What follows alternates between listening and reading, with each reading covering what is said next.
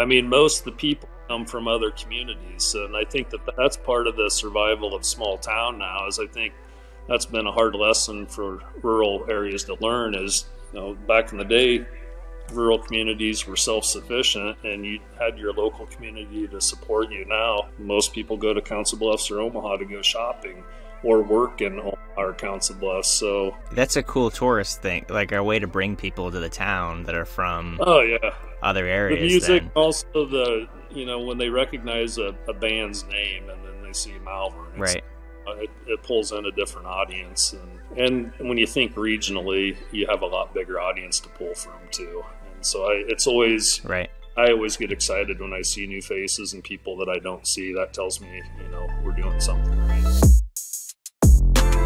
Zack Jones is an artist turned event organizer in Malvern, Iowa. Malvern is a small town in southwest Iowa that puts on a variety of events that bring a lot of people to the town. One of the reasons that I wanted to interview him was because being from a small rural area myself, I know the impact that events can have on those spaces, bringing people into the town, showing people what it's like, giving people more reasons to come and spend money there. This can be essential to local economic development. Zack Jones has really done, done a lot in Malvern to keep things alive uh, and really feeling alive with the art that's there. So in this episode, we talk to Zack and have him share some of the reasons he thinks events are important and some of the ways that he gets people to come to events uh, out in Malvern, Iowa.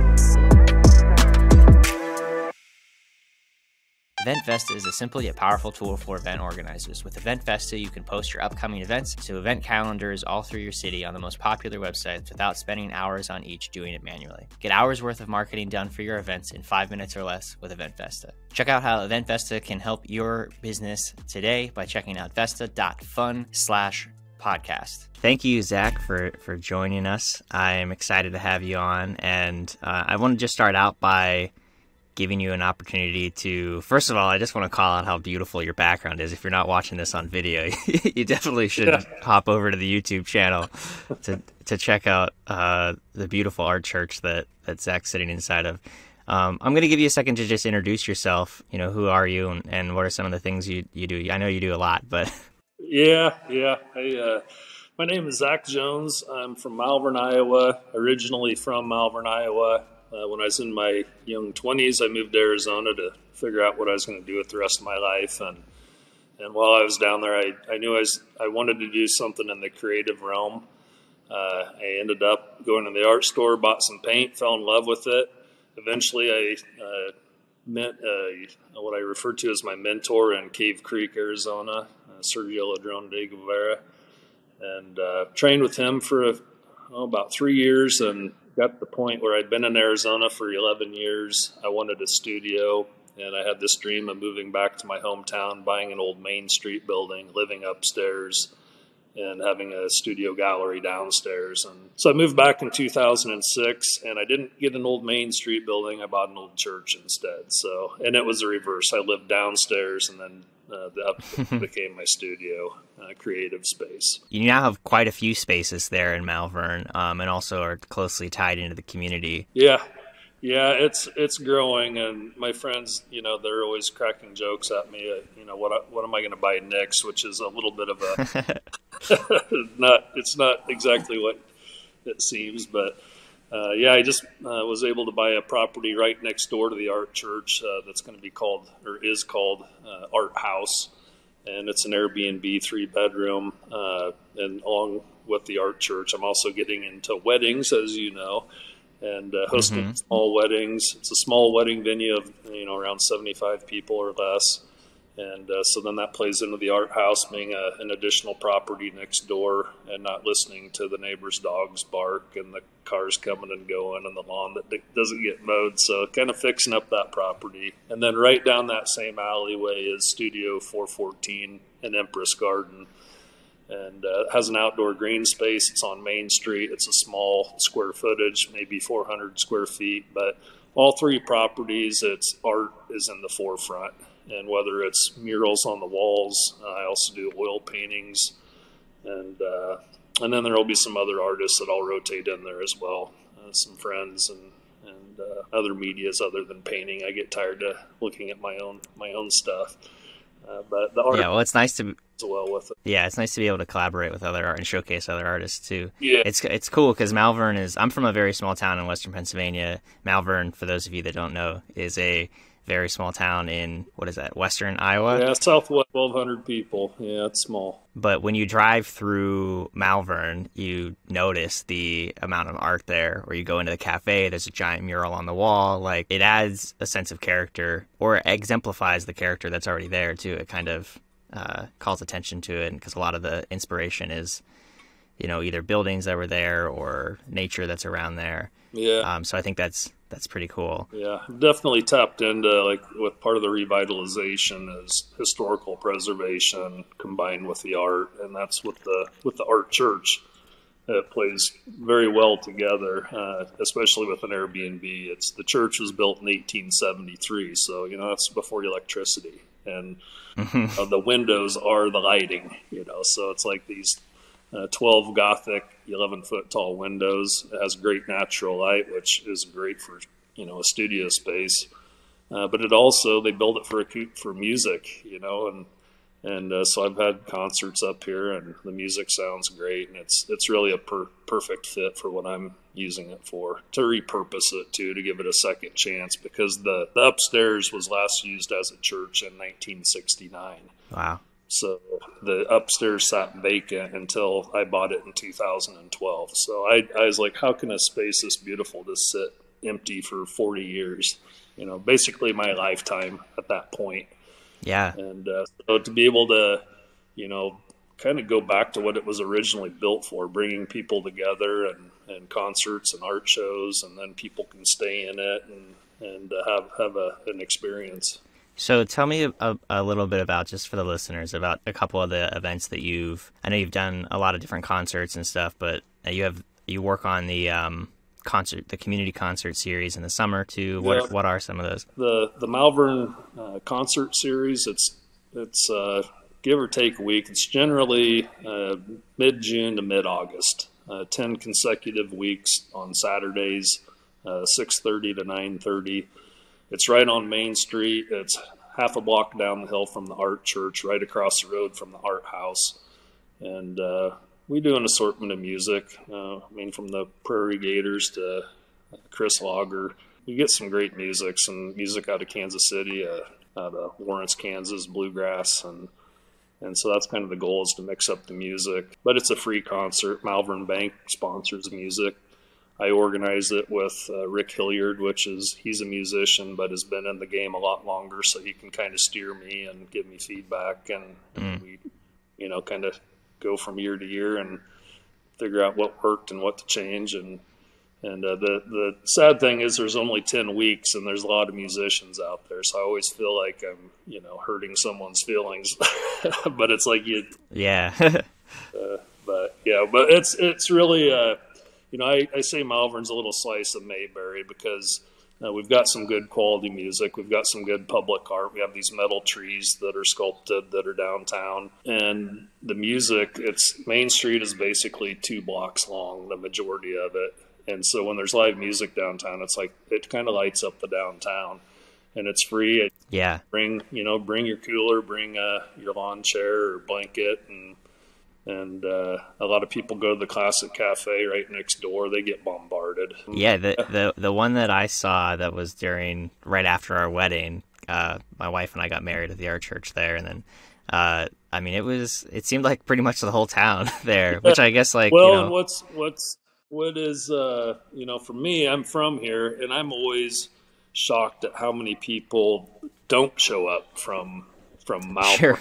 I mean, most of the people Yeah. come from other communities, and I think that Oh, really, really? Okay. that's part of the survival of small town now. Is I think that's been a hard lesson for rural areas to learn. Is you know back in the day, rural communities were self sufficient, and you had your local community to support you. Now, you know, most people go to Council Bluffs or Omaha to go shopping or work in Omaha or Council Bluffs. So, That's a cool tourist thing, like a way to bring people to the town that are from oh yeah, other areas. the music then. also the you know when they recognize a, a band's name and then they see Right. Malvern, it's uh, it, it pulls in a different audience and and uh, and when you think regionally, you have a lot bigger audience to pull from too. And so I, it's always right.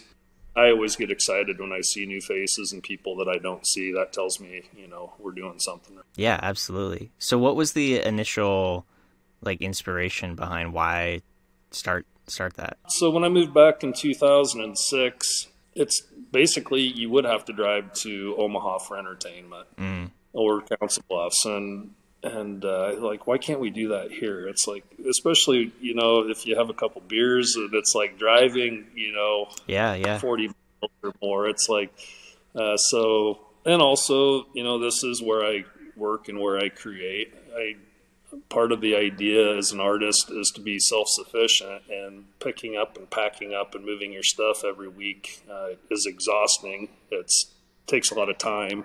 Things get damaged and uh, so I was really set on Malvern being my my showcase and bringing people here rather than me having to move all over the place. And over the over time, you know that consistency, people know that Zack is in Malvern, and Zack's art is in Malvern.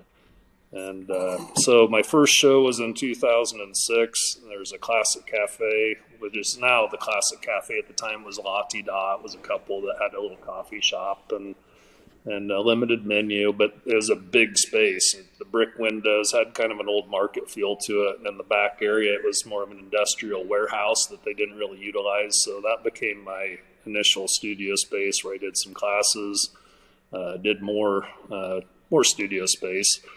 Uh, but I got to the point where it's like, okay, I'm back. I need to do a show. And I had a musician friend from Arizona, Eddie Elliott, that was traveling through the summer. He'd do go on tour, and I'm like, "Well, swing through Malvern," and and so I did an art show, and then coupled it with uh, a concert with Eddie Elliott, and we we had I'm guessing 200 people packed in the the cafe, which was great to see. Uh, but you know, it's uh, it also feels like, especially with small towns, you can't do just one thing. You have to combine things to make it more interesting and really mm. try to exceed people's expectations. And so the music combined with the art uh, you know, there's it just pulls more people. It's a bit, it creates a, a unique environment, and uh, and it's art, you know, in the forefront. I think that that's an overlooked factor for people everywhere that are putting on events. Like, I think it kind of becomes if you're in New York or something, it's easy to just be like, wow, just like have a band play. I'll have another band play. I'll have another band play.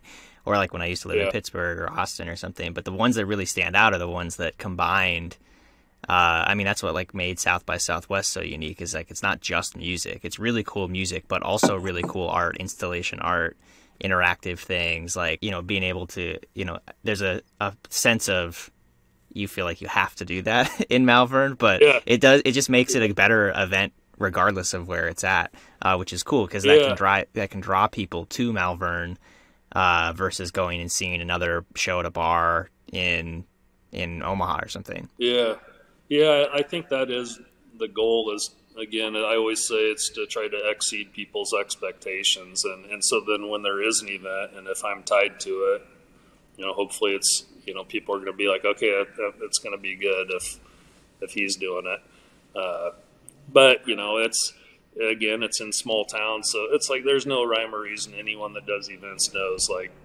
all of a sudden everyone shows up one night, and yeah. then the next time great entertainment and you think that okay that's this is going to be awesome and you know 25 30 people show. Yep.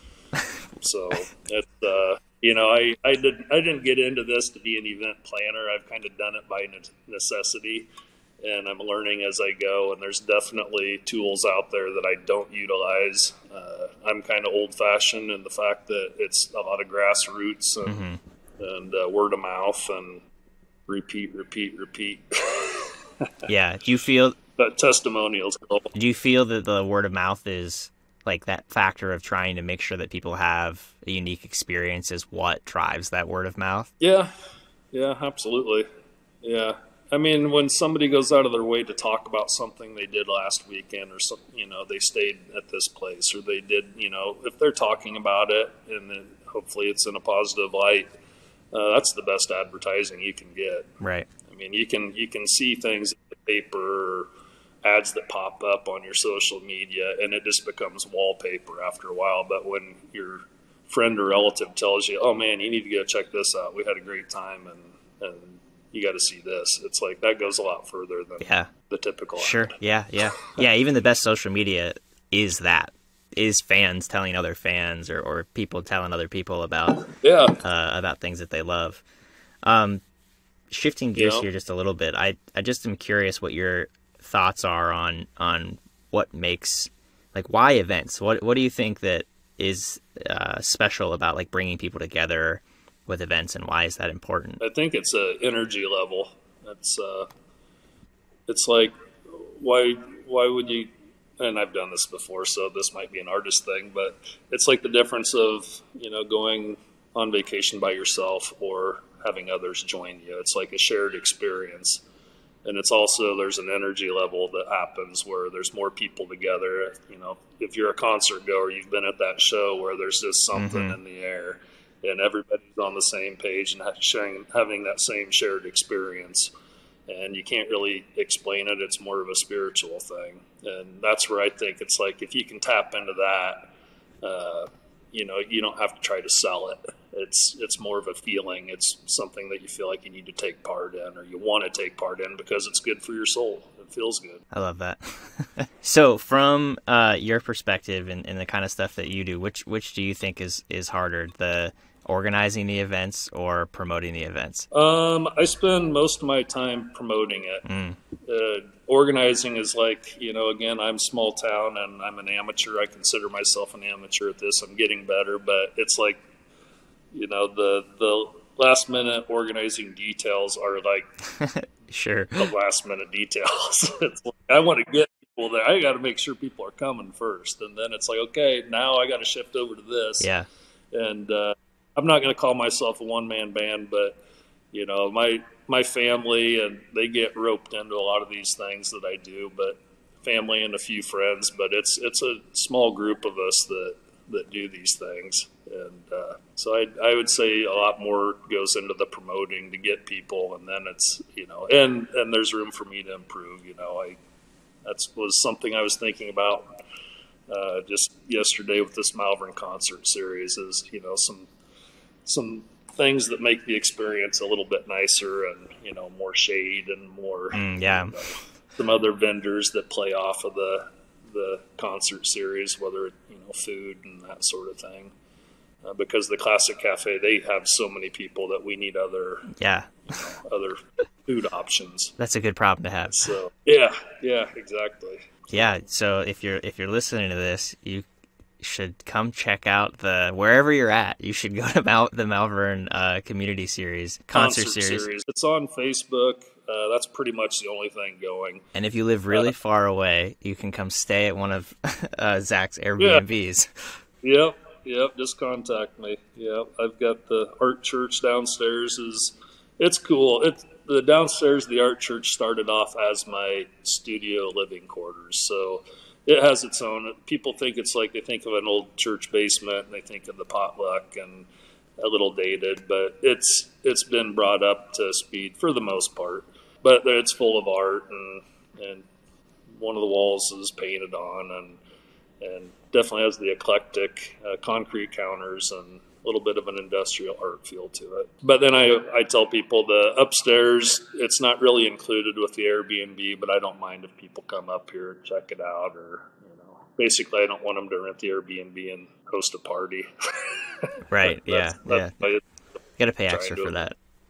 yeah, yeah. You Yeah, we- do that. W- We had a great wedding there, so it is a cool space for for an event. Uh, I mean, gorgeous. The energy there is amazing. Uh, yeah, that's what attracted me to it. It's Yeah. like when I was in here, it was June, and there was no AC and these big windows. It's like kind of the greenhouse effect, and Mhm. I uh, I wanted to use it for a art project because it was big open space, good light. Uh, but I was sweating bullets, uh, but I still fell in love with the space just because. Uh, you know, it has the big high ceilings, 27 foot high ceilings, and everything gets amplified. So the birds outside tweeting, it's like they're in the room with you. Yeah, It just has a really uh, peaceful, and I, I tell people it's a social space. When people come in here, they find a reason to stick around and, and keep keep visiting, and, and if you look around, there's always smiles on people's faces. So I, I there is something special about the the old church. Yeah, absolutely. All right, Zack, I am gonna let you just uh, if if people want to find some of the stuff you're working on, where can they do that? Your best bet. Okay, so another event that I started and I've handed off is the Southwest Iowa Art Tour, and our slogan oh, cool. connecting communities uh, through art. And the Hoff Center in Council Bluffs is part of that. Um, then the Har- Harvester Lofts, uh, but Southwest Iowa, the Southwest Iowa Art Tour, and that's on uh, Facebook along with the Malvern Concert Series, mid June to mid August, uh, 6:30 to 9:30, uh, Malvern Concert Series. And then, as far as contacting me or more questions, uh, you can go to Art Church on uh, Facebook or ZJ Paintings. And I'm also on Instagram too. So Art Church might be Art Church Iowa and uh, ZJ Paintings. Awesome. Thanks so much, Zack. Yeah, thanks for having me. It's been fun. Cool. Thanks for listening to this episode of the Event Promoter Podcast. Event Promoter Podcast is brought to you by Event Vesta. Check out Event Vesta at info.eventvesta.com. If you're listening on Spotify or Apple Podcasts, we'd love a rating. Tell us how the show has been for you. If you leave a comment uh, when you rate us on Apple Podcasts, we'll make sure to shout that out in one of the future episodes. If you have any questions for me as an event promoter or for one of our guests, we can bring those up uh, on those calls. Thanks for listening and make sure to share this with other event promoters that you think this would be helpful for. Bye.